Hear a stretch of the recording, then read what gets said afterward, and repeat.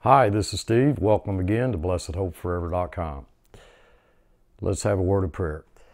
Gracious Heavenly Father, I just come into your presence by means of our Lord Jesus Christ and in the Holy Spirit. So thankful for the opportunity that we have to come together and feast on your word. I just ask that the Holy Spirit would take charge of this hour, that He would filter out all of that which is not of you, all of that which is ignorance and foolishness, but seal to our hearts that which is truth. For it's in Christ's name I pray. Amen.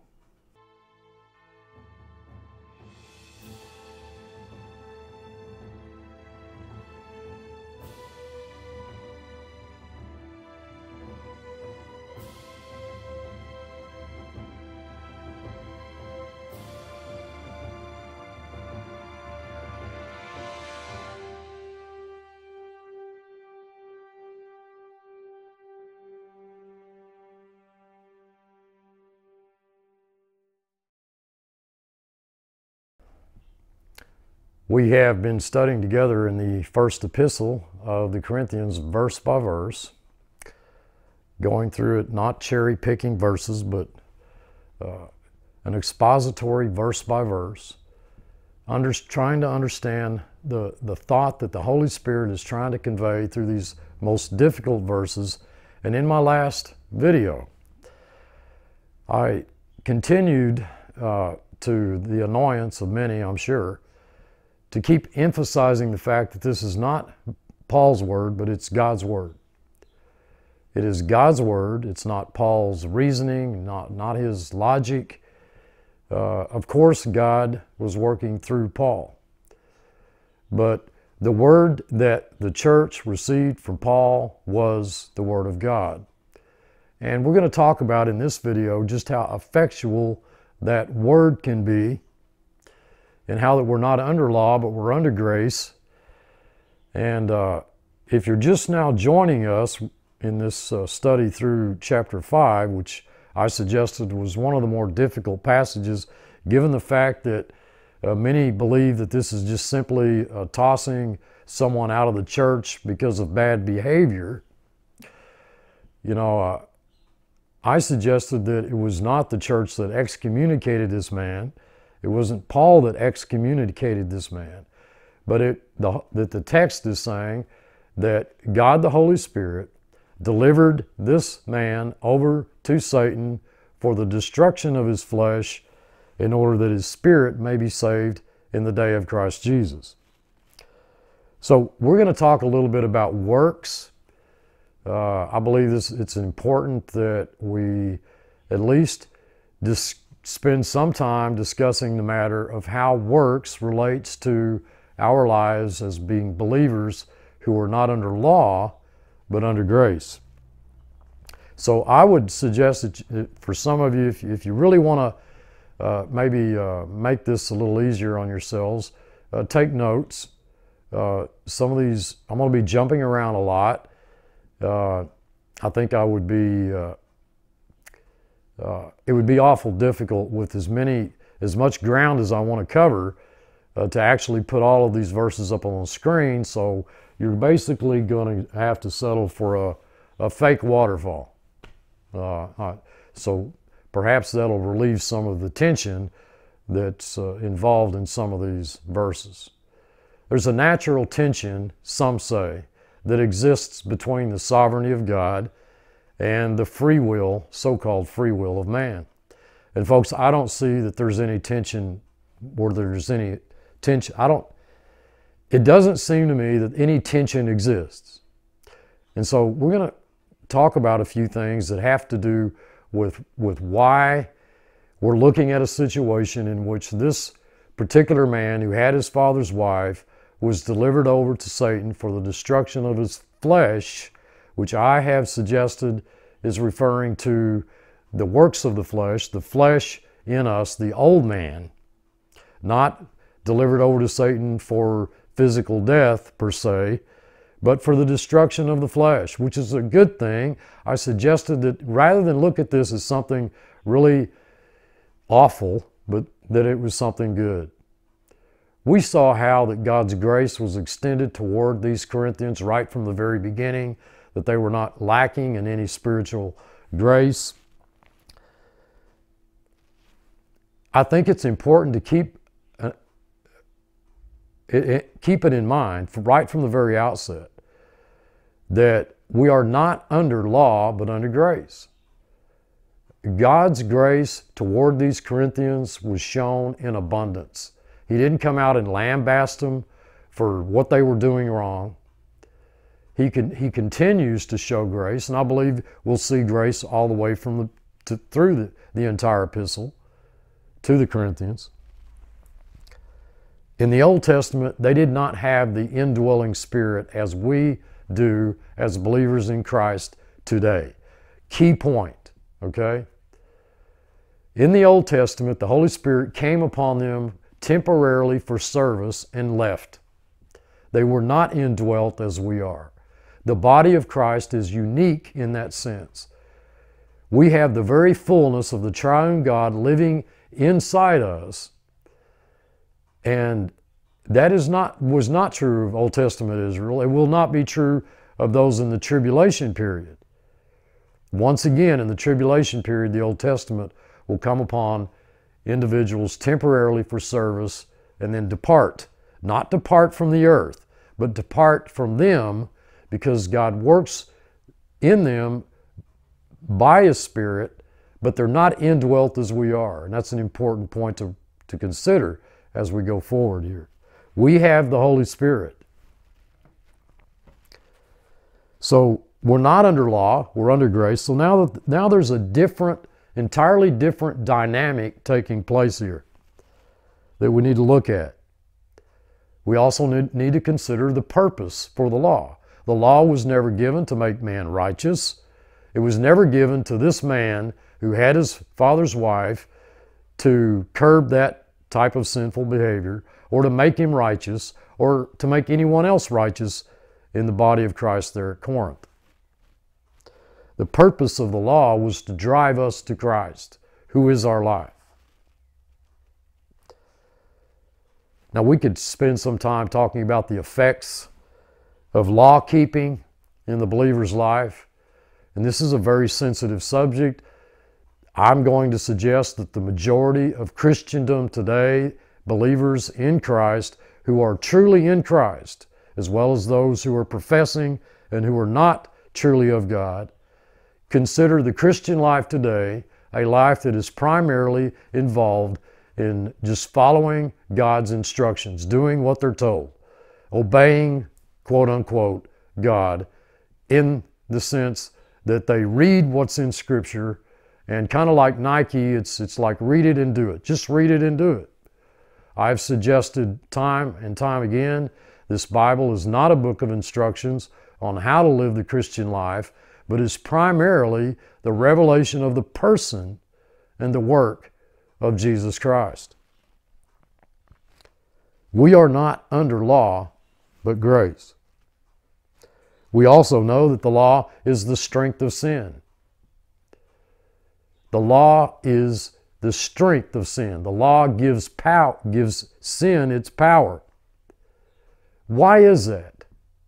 Well, it's because We've been joined together by death, identification with Him in His death, burial, and resurrection, joined with Christ, together with Him in our inner man, that new creation, that sinless new creation, in which we're one with Him as well as one with one another. We are not married to the law, we are espoused to Christ. Dearly beloved, I spoke a little bit in a previous video about the reality of adultery and on a physical level and how that it corrupts the family. Any natural earthly family, most of us would agree that adultery or fornication is devastating. I want you to consider just how devastating that it must be for us to be married to Christ while having an endless, flirtatious affair with the law, the law of which we've died to in order that we might bear fruit unto God. There is something called spiritual adultery. Now, in this discussion, in which this video is centered around the whole reality of works, uh, as I mentioned, God's abundant grace was shown these believers at Corinth. There was no judgment. There therefore is no judgment for those who are in Christ. I suggested that the man that we're looking at was in fact redeemed. So many confuse the, the, the two words. They, they, are, they actually mingle the two words, redeemed and saved. They look at redeemed and saved as synonyms. They're not. We are redeemed in order to be saved. The text does not say that he was delivered over to Satan for the destruction of his flesh in order that his spirit may be redeemed in the day of Christ Jesus, but saved. So God delivers him unto Satan. Folks, you can't save a man that's, that's not alive. You know, a fireman wouldn't run into a burning building and drag out a, a, a, a burned corpse and say that he saved the man. This is in order that his spirit may be saved in the day of Christ Jesus. His spirit may be saved, not his body redeemed. We are looking at, those of us who are looking for the rapture, we're, we're looking for the deliverance, the redemption of our bodies. This is his spirit that's being saved in the day of, of Christ Jesus. Uh, the text absolutely suggests that you can be a Christian, you can be involved in a what we would consider a gross sin. And I talked a little bit about I asked I asked you you folks the question: What is the difference really between uh, committing adultery and stealing a penny? I know that uh, that may sound a little ridiculous on the outside, but as far as God's concerned, sin is sin. Sin is sin. And I suggest that if all you did was steal a penny, that Christ would have to, to come down from heaven, leave heaven's glory, and die on a cross for that sin. Why did God choose this one particular sin? And I suggested that there was, I believe, there was some, at least the, the heart of the Holy Spirit in the intent in, in bringing up this whole reality of fornication and sexual immorality, that there was a, at least a shadow pattern connection between the physical act and the spiritual act of committing adultery. And that's exactly what we're going to see as we go down through the text and continue looking at these verses that follow this man being delivered over to Satan. Now, uh, this is a question I'd like to pose to you at this point. You know, after looking at God delivering this man over to Satan for the destruction of his flesh in order that his spirit may be saved in the day of Christ Jesus, why is it that now all of a sudden we are thrust into a, a, a new thought, a new context, you might say, of the Holy Spirit, where that it, it appears that we go from the man being delivered over to Satan for the destruction of his flesh in order that his spirit may be saved in the day of Christ Jesus. And now all of a sudden, we're in Martha Stewart's cooking class. You know, purge out the old leaven. The text says, purge out the old leaven. Now, is that man who did this act, is he that leaven? No, he's not we need to, to, take note of the fact that now we're looking at a body context. It's the Holy Spirit speaking not to this, not to the body about this man as much as it is the body itself. That within the body of, believers there at Corinth, which was God's church, they didn't just get together and decide they were going to become a church. Purge out the old leaven. Why is it that all of a sudden now we go from the, the this awful deed that this man committed into, uh, I don't know, a, a, a, into the kitchen. You know, are we looking, you know, at some cooking, you know, lesson on leaven? Okay. Well, of course not. Purge out the old leaven. For in fact, you have been un, you are, not you will be, you are unleavened. This is what the text says. Now, I did, uh, I don't know if I mentioned this or not about communion, the Lord's Supper, uh, the Lord taking the, you know, both the bread and, and the cup, the, the bread and, and the wine, and the eating and the drinking of this. This, this was the feast that followed the Passover. But we are told right in this, uh, this very text to feast upon Jesus Christ. It's always a feast that follows Passover. Christ is our Passover. Okay? And, I, and I, I'm sure I'm, I must have mentioned the fact that this was repeated every year in Israel but this is a one time sacrifice, as Hebrews said, for, for once, he, just one time. I mean, Christ died. He's not going to come and die again, which is a strong message in the, in the book of Hebrews. The author of, of the book of Hebrews pointed out the fact he's not coming to die again. For by one sacrifice he's perfected forever them which are sanctified. No, folks, this Bible, this book, is not a book of instructions on how to live the Christian life. It is much more grand, grandiose than that. I, it's a word I hardly, rarely use, grandiose. It is the revelation of the person and the work of Jesus Christ. What would have caused a situation or arranged for a situation in which this man who had his father's wife, in which this would have never taken place. And by the way, don't think for one moment that God did not construct, design, engineer the circumstance for your good, for my good, for the good of those at Corinth, and for the good of, those, of the man who did it. Okay? We worship a sovereign God. This did not happen by chance. This man did not just surprise God by what he did. Get that down pat, okay?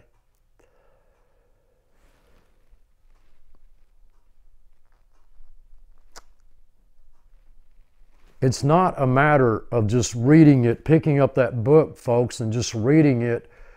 it. You cannot, you've got to scratch your head when you pick up a Bible that said, the Bible that says that you're not under law, but you're under grace. You've died to the law in order that you might bear fruit unto God. And yet you see in page after page after page, God's commandment, God's commands. They're in the imperative mood. Do this, don't do that. Do this, don't do that. But, but, but by the way, you're not under law, but you're under grace.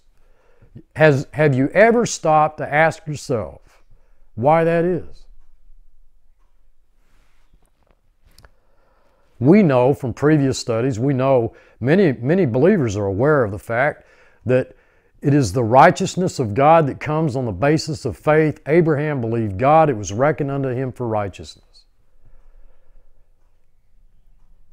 We know that there is an association, a relationship, a connection between faith and righteousness.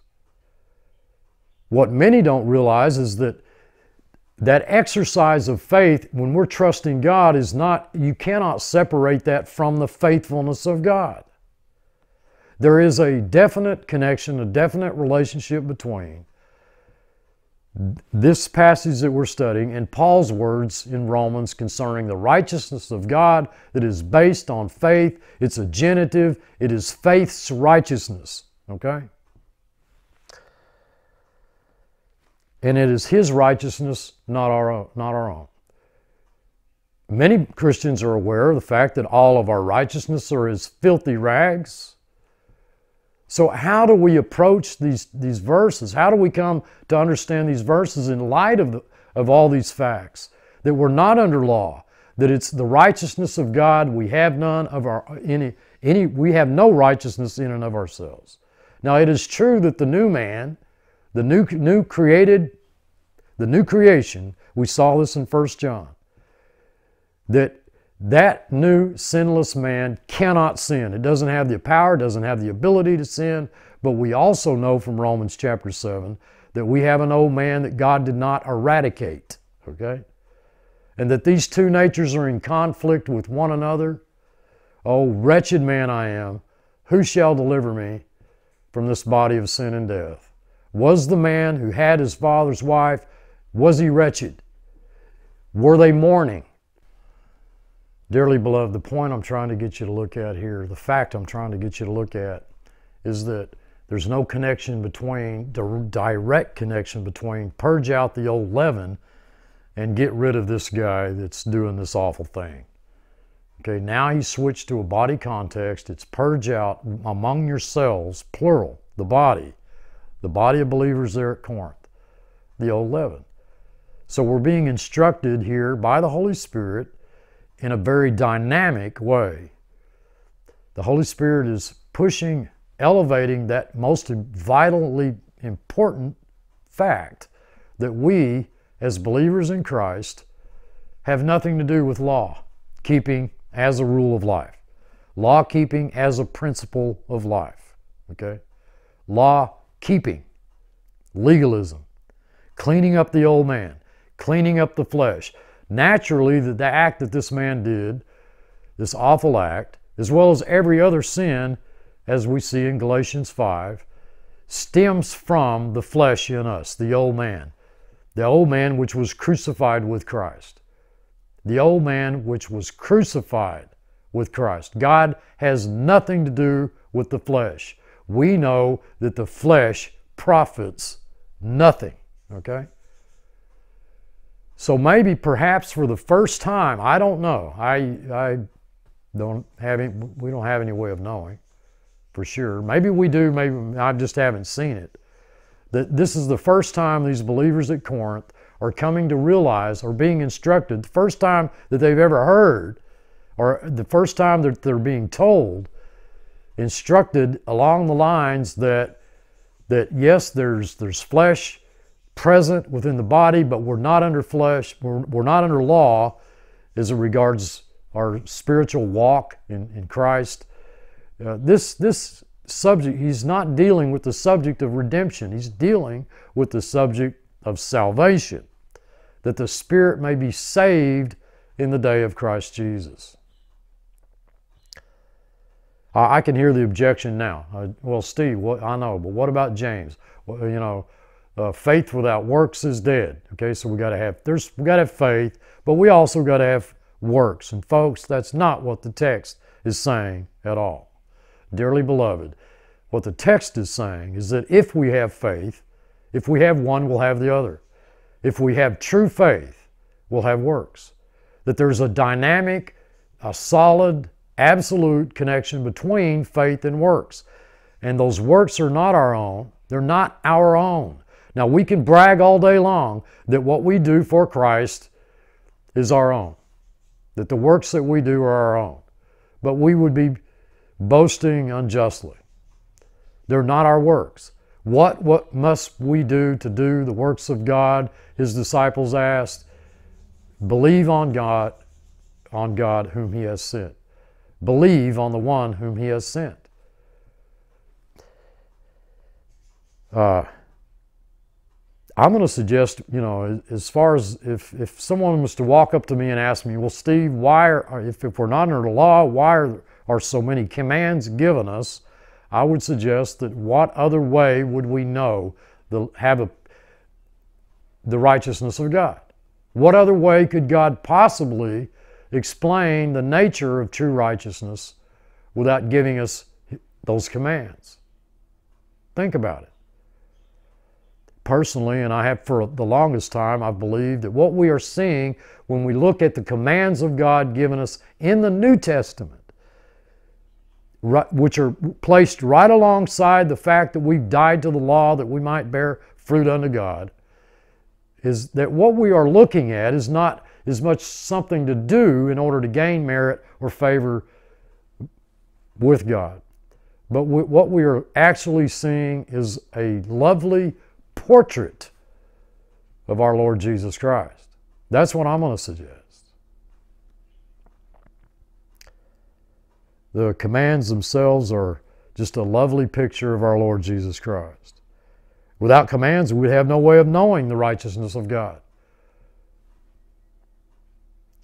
There's also the fact that we are one in Christ. Uh, there's a unity that exists and that what affects one member affects the other. A little leaven leavens the whole lump. We're looking at a body context in which, when you bring law and legalism into it, which we think might have prevented this, which it would not have, because the flesh does what it does.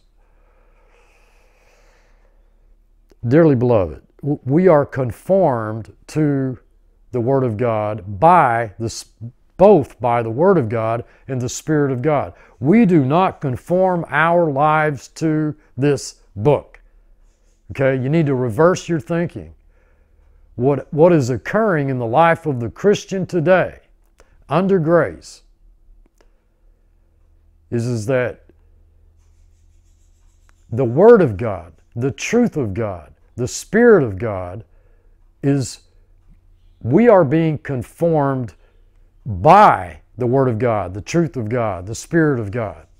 It's not that we take it upon ourselves to somehow clean up the flesh, clean up the old man, and conform ourselves to the instructions or the commands or the imperatives given us in this book. It's, it's just the opposite. We, modern Christianity today has gotten it backwards, just like pretty much like they've gotten every, everything else. They put the cart before the horse, okay? But we're not talking about redemption here. We're talking about deliverance, rescue, salvation, in order that his spirit may be saved in the day of Christ Jesus.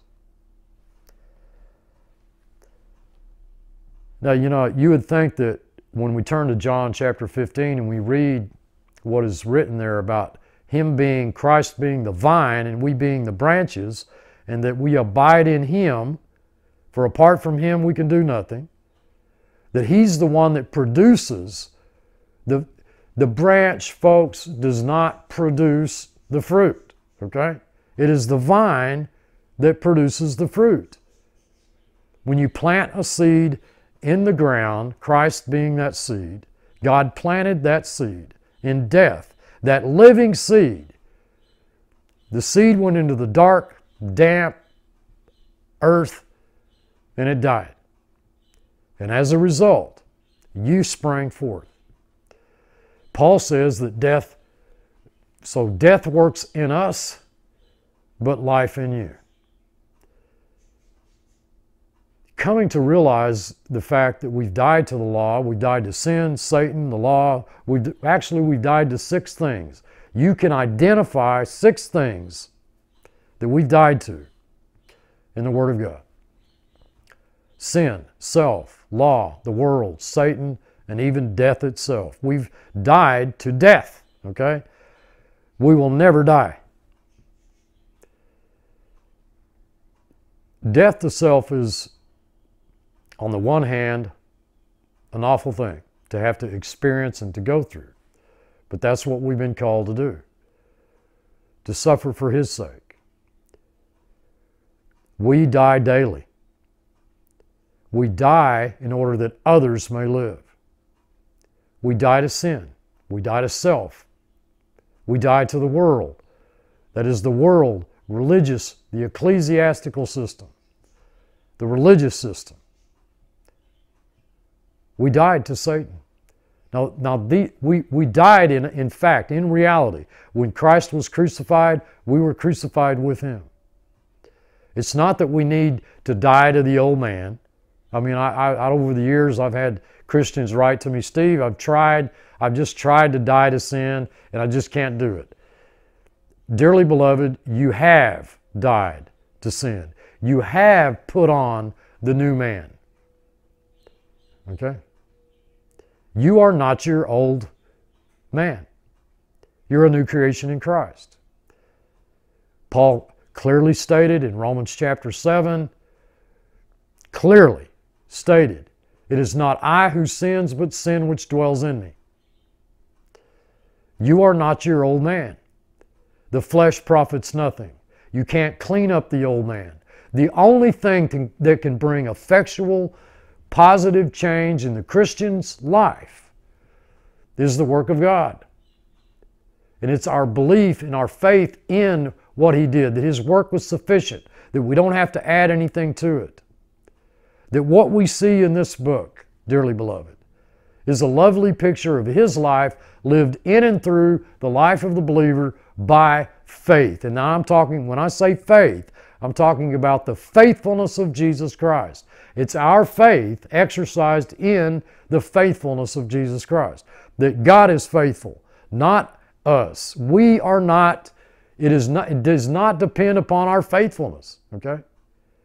We have this treasure in earthen vessels that the excellency of the power may be of God and not of ourselves.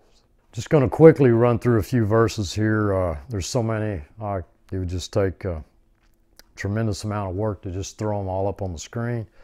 Colossians chapter 2, verse 6 As ye have therefore received Christ Jesus the Lord, so walk ye in him. Dearly beloved, how did you receive him? How did you receive him? That's something that you ought to spend some time at least meditating on. How did you receive Him? Because you're told to walk in Him in the same way that you received Him. Did you receive Him by law or did you receive Him by grace? Many are fam- familiar with Philippians chapter 3. Paul says, But what things were gained to me, those I counted loss for Christ, yea, doubtless, and I count all things but loss for the excellency of the knowledge of Christ Jesus my Lord, for whom I have suffered the loss of all things, and do count them but rubbish that I may win Christ and be found in him, not having my own righteousness which is of the law, but that which is through the faith of Christ, the righteousness which is of God by faith. Same thing that Paul mentions in Romans. That I may know him. That's, that's not a perfect knowledge.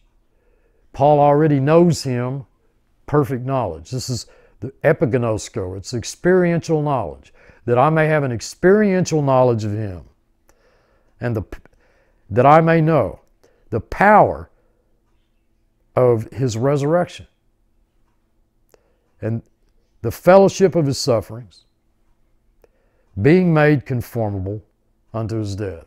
Being made, not conforming myself unto his death, being made conformable unto his death, if by any means I might, maybe I will, maybe I won't, it's a subjunctive mood, the mood of uncertainty, that I might attain unto the resurrection of the dead. And we read that and we, we think that's talking about his bodily resurrection. It is not. The out, it's a very unique word there, by the way, in the Greek. It is ek and has the word out from in front of the word resurrection. It's only only occurs once. The out resurrection from the dead. That is raised from the dead to walk in newness of life, his life, here in the present. That's what the text is saying. This is Paul's desire, that he might attain unto the out resurrection of the dead.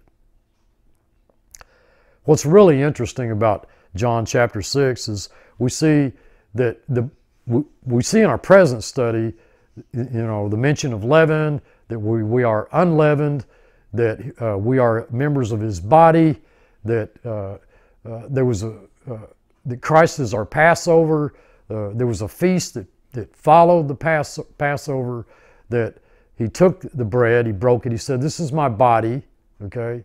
That we feast upon Christ, his body, that's what we feast upon. That's every time we come together, we feast upon His Word, we feast upon the bread of life, and we see the bread of life mentioned in John chapter 6. Then said they unto him, What shall we do that we might work the works of God? Jesus answered and said unto them, This is the work of God, that you do everything that I told you to do. No, no.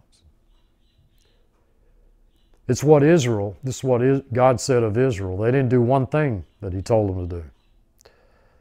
But Jesus answered and said unto them, This is, this is the work of God, that you believe on Him whom He has sent.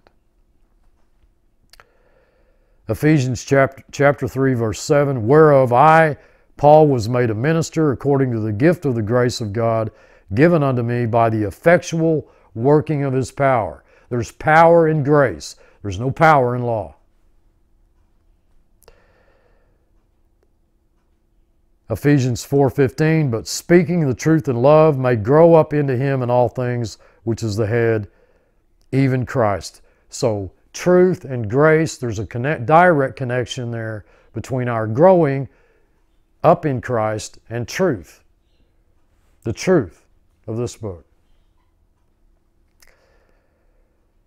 Hebrews 4:12 For the word of God is quick and powerful and sharper than any two-edged sword, piercing even to the dividing asunder of soul and spirit. Uh, there's power in the word. We don't conform our lives to that book. That book, the, the truth of the words of the, on the word, the truth of that book is what conforms us to the image of Christ. 1 Thessalonians 2.13, For this cause also thank we God without ceasing, because when you received the word of God, which you heard of us, you received it not as the word of men, not as the word of men, but as it is in truth the word of God, which effectually work, worketh also in you that believe. The word effectually works in us. Philemon 1 6, that the communication of thy faith may become effectual by the acknowledging of, of what? Of every good thing which is in you in Christ Jesus.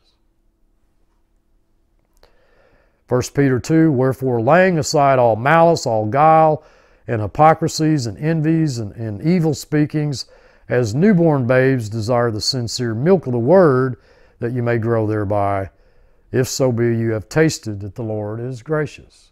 How could you not read that and not see how that that's tied directly into 1 Corinthians chapter 5? John 1 1. In the beginning was the Word, and the Word was with God, and the Word was God. Folks, this book is God. It's, it's the Word was God. Christ is the Word. hopefully, prayerfully, it is my sincere, deep desire that those who are listening to me will understand that when it comes to the matter of growing in grace and knowledge of Jesus Christ, not growing in grace and in, in law and knowledge of your ability in the flesh, but growing in grace and knowledge of Christ. When it comes to the matter of, of, of what many would refer to as uh, sanctification or progressive sanctification. You know, we're past the point of redemption. We're in, in Christ. We're growing in grace and knowledge of Christ. When it comes to the matter of being conformed to the image of Christ, we know that we're, we're led by the Spirit of God. He doesn't lead us. God did not redeem us to lead us by the Holy Spirit for the Holy Spirit to take our hand and lead us down the path of law keeping as a rule of life. It is my sincere, utmost prayer that those of you who are listening to, to me will take and think about these things. I don't ask anyone to agree with me on anything, but just to think about these things, to meditate on these things to meditate on how that this book, which we call the Word of God, which so many today tend to neglect. You know, they'll cherry pick verses and they'll, you know, to try to, uh, I don't know, to try to prove or to try to substantiate their own narrative, their own point.